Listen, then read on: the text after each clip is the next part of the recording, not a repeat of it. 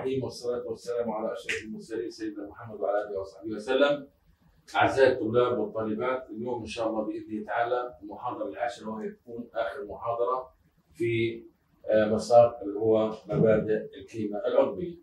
طبعا في أمور رجعنا فيها كثير جدا آه، وهذه الأمور لها أهمية جدا في حياتنا العملية منها على سبيل المثال الحموض الكربوكسيلية.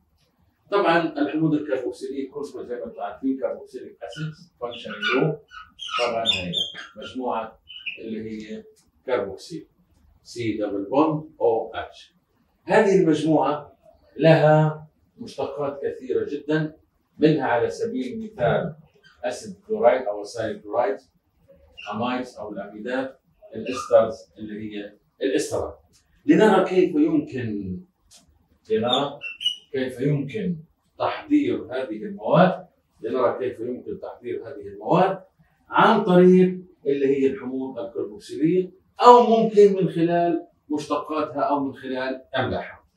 أول شغلة اللي هي acid chlorides أو acyl chlorides، كيف يتم تحضيرها؟ يتم تحضيرها بكل بساطة عن طريق تفاعل الحمض الكربوكسيلي أي حمض كربوكسيلي مع بي سي ال 5 بي سي ال 5 اللي هو خامس كلوريد الفوسفور اللي هو phosphorus pentachloride. لنرى كيف يتم هذا التفاعل؟ إحنا نتعامل مع اللي هي مجموعة ال OH الآن دي سي ال 5 زي ما إحنا شايفين يمكن ان إحنا نجزئها تمام؟ هناخذ منها اتفقوا عليه عشان لا نخطئ لا نخطئ ناخذ منها مثلا Cl تمام. و P Cl 3 و Cl أنا جزأت. طبعا هنا في وجود عامل مساعد تمام.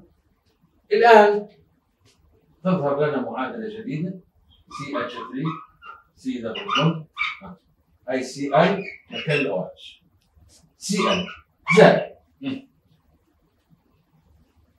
Cl مع الاتش زائد اتش سي ال ماذا تبقى؟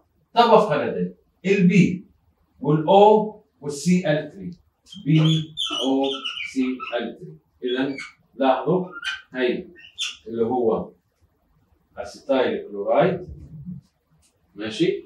زي ما إحنا شايفين كيف نتج عن طريق تفاعل اللي هو الحمض الكربوكسيلي مع اللي هو خامس كلوريد الفوسفور أو phosphorus pentachloride فنتج عندي acetyl chloride لأنه أنا اشتقيت من حمض الاسيتيك acetyl chloride.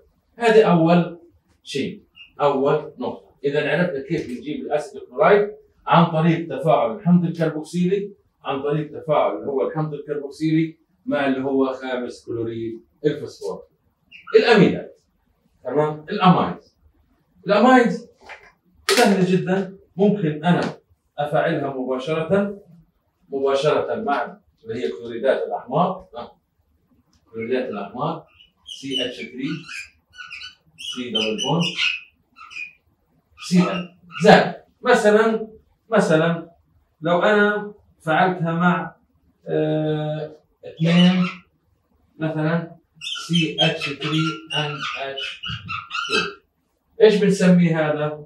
بنسميه اللي هو methyl amine methyl amine بدنا نحصل على ال amides يعني مركب فيه امين بدنا نحصل على ال amide أو الاميد مركب. أنا بدي أشيل ال Cl تمام؟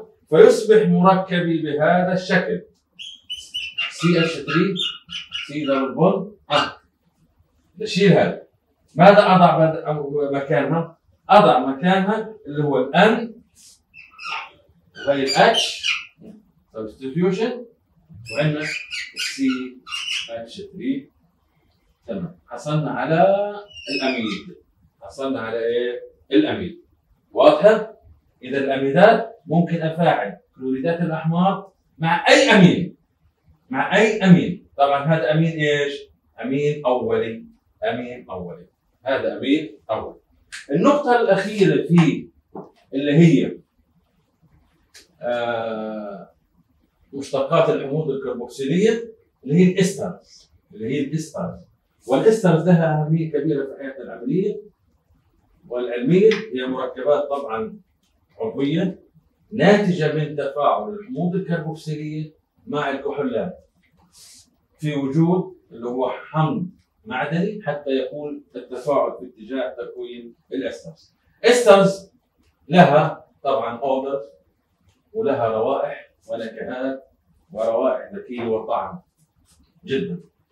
طيب ال esters الاسترات CH3 C double bond OH زائد طبعا حمض كربوكسيلي زائد CH 3 CH2 OH هذا الاسفل أنا عشان يكون تفاعل في اتجاه تكوين الاسفل طبعا أنا بطرح حالة ميه في وجود حمض عشان يكون not reversible reaction يكون في one direction. ماذا يحدث في هذه الاسترات؟ طبعا شيء. يلا نجمع معادلتي وتصبح CH3 C double bond O CH2 CH3 طبعا هذا بسموه ethyl ethanoate ethyl ethanoate زائد طبعا إيه ميه زائد اللي هي ميه ethyl ethanoate أو إستر اسيتات الايثايل وهي مادة ذات رائحة زكية زكية منعشة اللي هي طبعا كنا عارفين اللي هي رائحة البرد اللي بنشربه أو نشربه رائحة البرد. هذا بالنسبة لي الأمور الثلاث. اذا عندنا أصبح derivatives of carboxylic acid ثلاث. derivatives of carboxylic acid ثلاث. اولا اللي هي acid chloride الحموض طبعا ال acid ال chloride كلوريدات الأحماض أو ال acyl ال chloride عندنا ال amides الأميدات وعندنا اللي هي الاسترات ثلاث أشياء انتبهوا على النقطة هذه وهي نقطة مهمة جدا جدا. آه النقطة الأخيرة اللي هي hydrolysis of esters. hydrolysis of esters. يعني تحلل الاسترات، hydrolysis of esters. بالنسبة ل hydrolysis of esters اللي هي تفكك أو تحلل الاسترات، الاسترات تتحلل hydrolysis of esters of esters طبعا اثنين، واحد اثنين. في عن طريق اللي هو ال H2O وجود حمض وفي عن طريق اللي هو ال NaOH لنرى إذا التحلل أو تتفكك الاسترات بطريقتين اللي هي تفكك مائي وعن طريق اللي هي القلوي. نشوف المائي ناخذ استر CH3 C double bond O CH3 آه عفوا CH2 CH2 CH3 طبعا في وجود مية H2O وحمض تتفك ترجع الاسترات إلى ما كانت عليه بالسابق إلى ماذا؟ إلى حمض كربوكسيلي حمض كربوكسيلي حمض كربوكسيلي زائد كحول CH3 CH2OH هذا التفكك أو التحلل المائي تحلل المائي إذا hydrolysis of تفكك الاسترات مائي ترجع إلى حمض وكحول كما كان في السابق أما التفكك القلوي. انتبهوا جيدا على التفكك القلوي. لنرى ماذا يحدث في التفكك القلوي. تمام؟ نشوف ماذا يحدث في التفكك القلوي نأخذ استر CH بوجود طبعا قاعدة. وجود قاعدة قوية. سي اتش 3 سي دبل بوند أو سي اتش 2 سي اتش 3 زائد طبعا ان اي أو اتش طبعا هذه strong base قاعدة قوية. قاعدة قوية. قاعدة قوية. شوف ماذا يحدث. ها. شوف نسوي. ناخذ الجزء هذا مع الجزء هذا. هذا هو. وهذا الجزء مع هذا الجزء.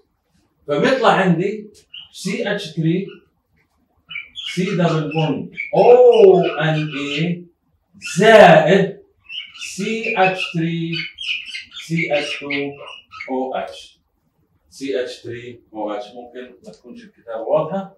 نكتبها بطريقة تحت زائد CH3 CH2OH إذا أعطتنا حاجة جديدة. بنسميه سالت ملح. ملح لمين؟ للحمض الكربوكسيل هذه العملية لها اسم بيسموها saponification التصبن. بيسموها إيه؟ التصبن أو saponification يطلق عليها اسم التصبن أو سابونيفيكيشن What we mean by saponification اللي هي the reaction of ester with strong acid. The resultant is a salt. الناتج هو ملح لحمض كربوكسيلي. I will repeat it again. What we mean by saponification التصبن هو عبارة عن تفاعل الاسترات مع القاعدة قوية مع قاعدة قوية وينتج ملح لهذه القاعدة. هذه العملية بسموها التصبن saponification وهي موجودة في الكتاب تقريبا في صفحة آه، صفحة واحد واحد اثنين أربعة. واحد واحد اثنين أربعة. هذا كله طبعا مجمل الشابتر الثامن والعشرون. هذا مجمل شابتر 28 وهيك بنكون إحنا انهينا محاضراتنا بالنسبة لمادة مبادئ الكيمياء العضويه لكن أريد أن أؤكد على شيء مهم جدا بالنسبة للامتحانات. الامتحانات حتكون سهلة جدا حتكون بسيطة جدا من الواقع اللي درسناه. أه حنركز على كل اللي درسناه وكل اللي شرحناه. الامتحان نظامه ليس بصعوبة فائقة. المهم أنت تركز على التفاعلات ركز على ال function group ركز على اللي هي بعض اللي هي scientific terms ركز على بعض الديفينيشنز على الكل. إحنا بس يعني المهم يكون عندك فكرة. طبعا في طلاب كانوا متصعبين من شغلة واحدة اللي هي طريقة التسمية. وطريقة التسمية طبعا كانت طريقة سهلة. كل واحد له طريقة معينة وكل واحد له شيء معين ومحدد. يعني مثلا على سبيل المثال هنأخذ مثال بسيط جدا. واحد اثنين ثلاثة أربعة خمسة ستة سبعة ثمانية. كويس؟ واحد اثنين ثلاثة أربعة خمسة ستة سبعة ثمانية. لنفترض أنا عندي في مجموعة هان CH 3 عندي سي اتش 3 وعندي هنا سي اتش طبعا إحنا قلنا نختار اطول سلسلة اطول سلسلة في المركب. ثم بعد ذلك نبدأ بالترقيم من اللي هو التفرع الأقرب إلى الطرف. أنا عندنا واحد اثنين ثلاثة أربعة خمسة ستة سبعة ثمانية. نشوف المذر. المذر ثمانية أوكت. أوكتين. المذر ثمانية أوكتين. في عندنا ثلاث مجموعات methyl في عندنا اثنين واقع في ثلاثة وواحدة واقع في أربعة. ففي هذه الحالة بنقول ثلاثة. ثلاثة وإيش كمان؟ وأربعة. آه. tri. tri tri ليش tri tri؟ methyl methyl octane كان عملية بسيطة جدا. بس ركزوا عليها. هذا وبالله التوفيق. ونراكم إن شاء الله في يوم الأحد في امتحان الدكتور يوم 22 والفاينل طبعا سوف يعلن عنه فيما بعد. واستودعكم الله وأتمنى لكم التوفيق والنجاح والسداد إن شاء الله. وشكرا لكم. وإن شاء الله آه تكونوا من الناجحين والمميزين. والسلام عليكم ورحمة الله وبركاته.